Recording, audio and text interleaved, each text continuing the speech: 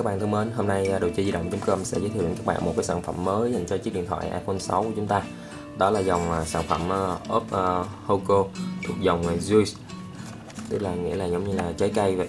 Thì nó có rất là nhiều màu khác nhau. Thì bây giờ mình sẽ minh họa cho các bạn bằng cái màu tím.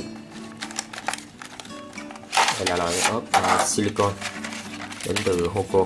Hoco thì là một cái hãng khá là tên tuổi rồi. Các bạn có thể hoàn toàn an tâm về chất lượng của nó nhất là chất lượng về độ bền của sản phẩm cũng như là chất lượng hoàn thiện. Đây là chiếc ốp ờ, silicon dạng dẻo, rất là dẻo và rất là mỏng. Cầm rất là êm tay. Đơn giản nhưng mà bảo vệ máy rất là an toàn.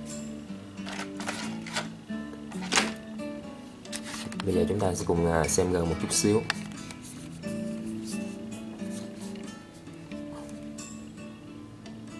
Đây là cái cạnh trên ờ, phần ờ, chứa camera. Nó được làm lồi lên như thế này, thì giúp cho camera chúng ta không cài vô mặt bàn khi đặt xuống. Đây là cái phần chừa ra cho logo quả táo của chúng ta, rất là tinh tế.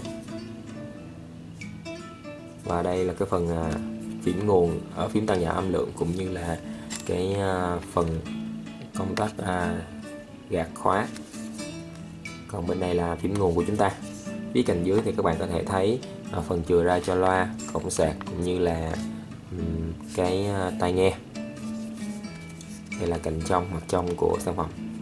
Với cái loại ốp này thì các bạn có thể à, rất là dễ dàng khi chúng ta gắn vào máy hoặc là tháo ra. Rất là đơn giản. Và nó bảo vệ máy tốt bởi vì tất cả các cạnh viền của nó đã được làm lên như thế này nhô cao lên. Thì nó sẽ ôm trọn tất cả cạnh viền của máy, nó sẽ làm cho cạnh viền của máy bị tổn thương và chúng ta có thể dễ dàng bóp nó lại. Và độ đàn hồi hồi của nó khá là tốt. Khi chúng ta bung ra thì nó sẽ trở lại hình dáng ban đầu. Đây là một cái sản phẩm rất là mỏng. Do đó khi chúng ta gắn vào máy thì chúng ta có cảm giác giống như là cầm trên máy thật vậy. Bởi vì cái độ dày của máy nó không có tăng lên đáng kể.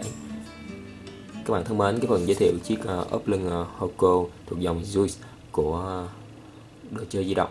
Com dành cho chiếc iPhone 6 của chúng ta đến đây là hết rồi. Xin chào và hẹn gặp lại các bạn trong các clip tiếp theo.